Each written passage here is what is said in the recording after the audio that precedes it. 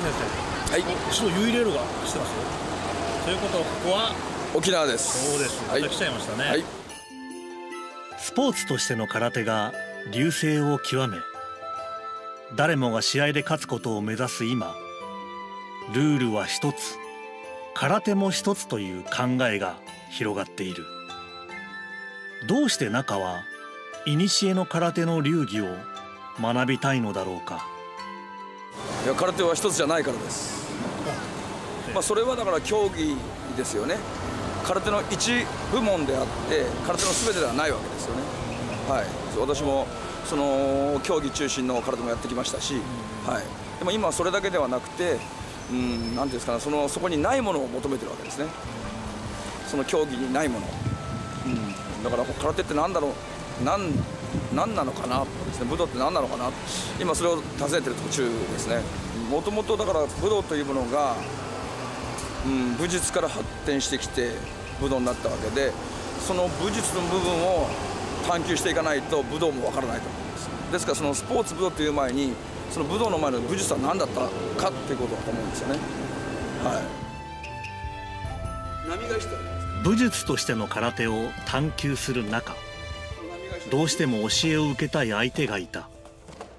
沖縄豪十流の比嘉女森尾だ。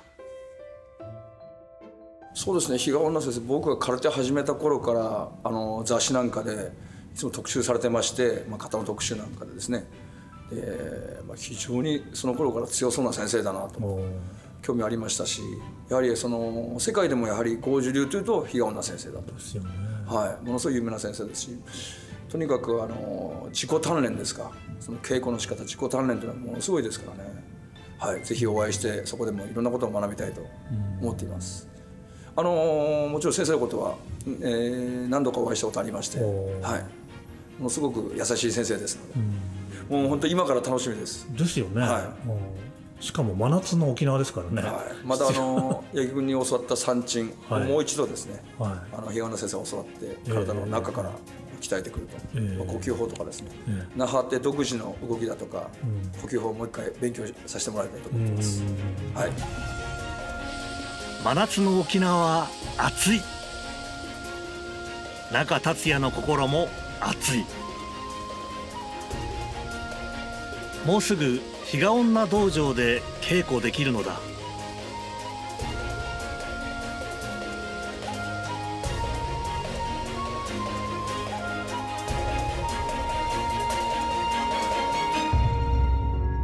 比嘉女森を宮城長順を流祖とする沖縄豪十流を代表する空手家の一人である。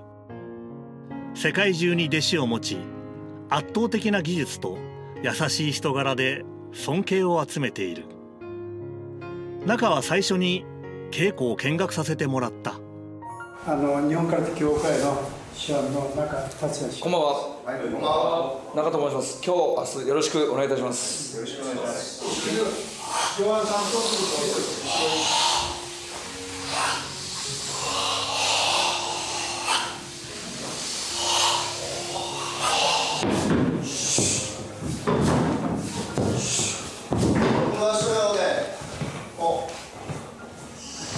2回やるんですか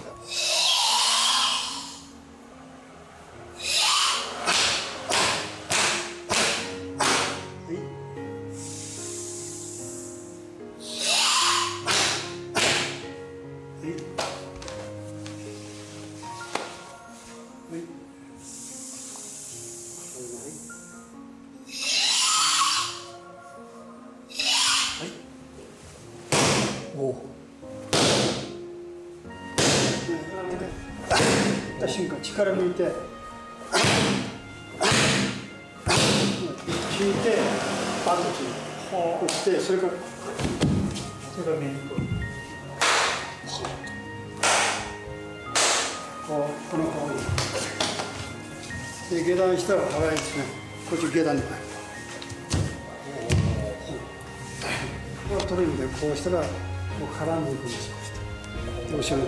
でバーン倒して頭で倒したらね必ずこう倒したら必ずここを押したらこうしこに戻る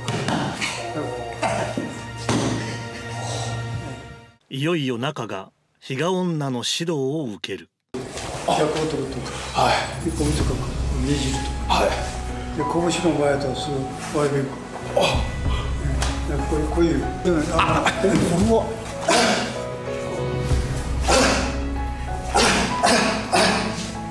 上段中段下段おおそうそうそうそう。いいですよ。そうそうあもう一回。